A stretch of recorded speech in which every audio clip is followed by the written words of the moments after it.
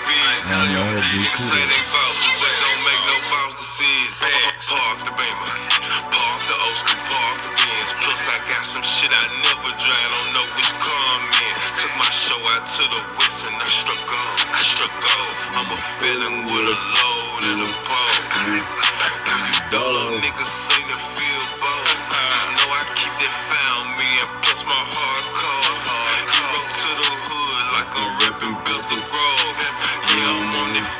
time. You push me to that mode. Yeah, I'm on that fuck you time and shit never get old. Walk around on Arnold time. Fuck pockets on swole. Bitch, you better not move a muscle. I'm ready to blow. Bitch, you better strike like lightning when I say let's go. Really got a mind trying. She call me Dr. X. Snoop first album, doggy style in this. What's going on? What's going on? I am your host, Big True and this is the Late Bloomer Podcast. Going right in with it, man. I'm talking about your, your, your NBA champions, your, your, your last year NBA champions for the most part, uh, Golden State Warriors, um, Defensive Player of the Year, three-time NBA champion, multiple All-Star, man, future Hall of Famer, Draymond Green. How do we feel about Draymond Green? Draymond Green and Jordan Poole, is, which his teammate is. His teammate is a budding star. Uh, been on the team for um, I want to say no more than three, four years. But um, he that guy. He got work, he got talent, and uh, he letting that bitch go. You know what I'm saying? So he's the offensive player on the team, the up and coming offensive star. Draymond Green is the the current and long-stead superstar. Okay. I basically I heard about this a couple days ago. Draymond Green and uh, Jordan Poole got into a little incident. And, you know, hearing about it and seeing is two different things. So I heard about it. Heard Draymond got to fighting with a teammate. I wonder what happened. You know what I'm saying? And seeing it, okay. Me putting it in perspective. How I see it is, uh, I, I've seen a couple, a, a lot of different outlets, outlets basically. You know what I'm saying? I don't try to be first like I stated before. I like to see what's going on, get other people intake and see how they going with the story, how they view it, and basically everybody, everybody vilifying Draymond this morning. Oh, it's the worst thing they done seen, and he wrong, and his image, and he, he expendable now, and I made his, you know, messed the bag up, and you know, everything around, everything you can think of, as far as from a teammate standpoint, a person standpoint, I'm hearing about Draymond Green.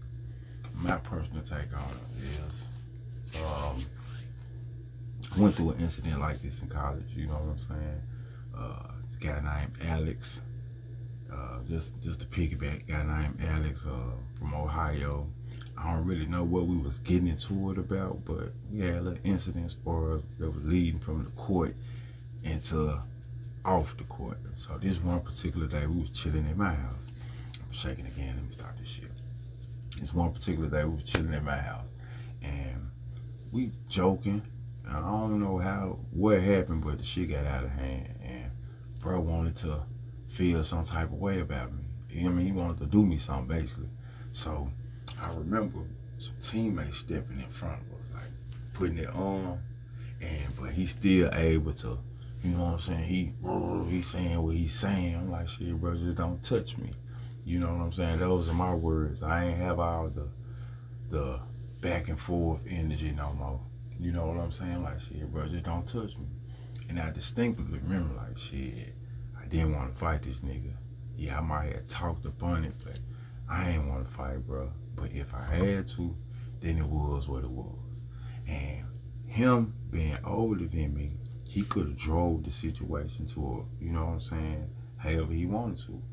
But he also had to think about shit. If I fight him, he 18, I'm 23, 24, we in junior college. This might be my last chance.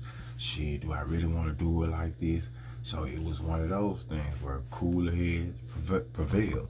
So going back to the Draymond Green incident, look like uh, Poole said something, bro. Bro thought about it, and bro was like, "Fuck this shit, I'm finna go and go say something to him." And that could be one of them incidents where they already got stuff going on, though. You know what I'm saying? Who knows what's being said and what's going on in the locker room? So let's say Poole wet at the mouth. Okay. Poole wet at the mouth. I finally say, fuck it, I'm finna go say something to Poole. I go say something to Poole, and Poole, I'm all in Poole face. Poole wrong for letting a nigga get all up in his circumference, you know what I'm saying? They, they tell you coming up the arm length is your, is your safe space, but even that's too close. So I wouldn't let Draymond get up on me. First of all, I would have been took a step back hold on, bro. This ain't what we doing. So once I seen him coming towards me, just like I did once I seen Alex coming towards me, I didn't really want to fight, bro. I had to make a business decision. You know what I'm saying? I didn't know if he was gonna hit me. I didn't know what he was gonna do. Luckily, my teammates got in between us before he got right up on me. Never know. You know what I'm saying? But he said we had to say. I said we had what I had to say. And I'm person don't touch me. Yeah, okay, yeah. I ain't had the same energy I had before because I didn't want to fight the nigga. So I would have been forced to fight, just being real. But if it would have went there, I ain't even mush me, push me, ain't do none of that old shit though. It just shit. I ain't want to fight. So in Poole incident, Draymond walked up to him, got him in his face. I feel like Poole should have, like I said, took this step back. But when you push him, from all my years of growing up, man, pushing lead the fight or pushing, we, we, we play the pushing game, the shoulder, see who's scared. You push me, I push you. So she pushing lead to punches. So I feel like Poole should have done a better job, a way better job of protecting. You know what I'm saying? Just being aware of the situation, the surrounding, what's going on. And going back to Draymond, I feel like Draymond should have done it though. Being an OG, being a, a, a older guy, you know what I'm saying? Yeah, you the tone setter, you the enforcer, you understand your role, but I feel like you supposed to do that. You know what I'm saying? Like, there's other ways you can handle it. There's other ways you can handle it, and it, you shouldn't have. Shit, you gave him one. You could have snatched him up. You could have, man, nigga, come here. You know what I'm saying, bro? Look, you could have did it like that. You could have, there's other you could have handled that situation in, in, the way you did it. But do I think it's the worst? No. Do I think uh, the cameraman should be fired or the camera staff should be fired? Yes. But I know Golden State don't handle business like that. And whoever leaked that out being messy as hell. And they did it for the quick buck. So I feel like that ass need to be up out of there. They could have you know what I'm saying? Could have prevented this story from even coming out and people like me and other media outlets talking about it. Could have been an in-house situation could have saved Jordan Poole some embarrassment and saved Draymond some uh, some uh, from being vilified even more. But like I said, man, I don't think it was the worst thing ever. I don't agree with teammates fighting, but you know, sometimes sometimes it happens. You know, people get paid to fight. You got UFC, you got boxing, you got you got training, you got they get you paid to train, you got jiu-jitsu, you get paid to fight, you get paid to play football, basketball, all these physical sports. So it comes a time where, man, you gonna butt heads. But do you like do is it do you like button heads or is it cool button heads with teammates? Nah. Cause truth be told, Alex would have put his motherfucking hands on me back in 2005, then we couldn't have stayed at the same college. You know what I'm saying? Like, just being real. So, I understand this situation too. But, when you making these millions and you in a position that these men in, I feel like you got to keep a cooler head. So, if Draymond is stand-up guy like I think he is, man, you know what I'm saying? I know the world unvilified you, man, and you got some of these soft-ass media outlets that's, you know what I'm saying? Cause it, it look bad, though. It look bad. I must say, it look bad. Look, you push Poole, and you just teed off on you gone with your move. But at the same time, I respect the shit. I know Poole could put his hands on you too, though. He should have knew better. But to the world, they just see you bigger, you a forward, he a guard, and you gone with your move. So, man, just be that stand-up guy. And, man, go holler at Poole, man to man, and let them know where you was wrong. Get, get your shit off your chest and let them know how, what led up to it. You know what I'm saying? But at the end of the day, accept some responsibility for it, Draymond. That's all I can say, bro. Accept some responsibility for it. I'm pretty sure you ain't gonna talk about this shit on your podcast. You know what I'm saying? You gonna talk about everything. You ain't gonna go on there and talk about this. This is a little bit, this is a little extra. You let everybody else talk about this, Jack. You know what I'm saying? Don't be afraid to like, share, subscribe, comment, critique.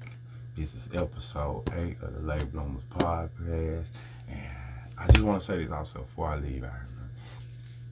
Tip, tip of the day if you a person that move and be on the move like me, you know what I'm saying, rip and run all day, um, I, I was thinking, I was actually, I feel at my best when I wake up in the morning and and give me some good nutrients in my body. You know what I'm saying? At first, I wasn't big on breakfast. I haven't been on, big on breakfast since I was a little boy. My grandma used to make it for me. You know what I'm saying? That shit was every day. But as I done got old and just got to move and groove and going through life, breakfast as it became one of my least favorite meals. Not because the food, just because shit I'm moving. I ain't got time to eat. But as I done got older and I be ripping and running, I realized, man, that first meal of the day is so important because just think, if you ripping and running, you ain't got nothing in your system to start your day off and like it done been days where I, it be six, seven o'clock. I ain't ate shit. So just imagine the wear and tear they put on the body, and then when you are eating, you are snacking on bullshit. So I advise everybody, man, to wake up and start your day off with a proper meal. Some good nutrients, something that's gonna take you through the day if you are a busy person. God bless you. Have a good day. Appreciate you. Don't forget to like, share, subscribe, comment. Uh, I'm still doing a trip giveaway once I reach 1K subscribers. Um, support the movement. Wizard Cleaning Services LLC. I also uh, have a non-profit I have going on. I'll give you an update on this soon. And I will be doing some coaching, some basketball coaches from ages 6 to 15 inbox me, get with me if you want uh, information on it, man. Be true that.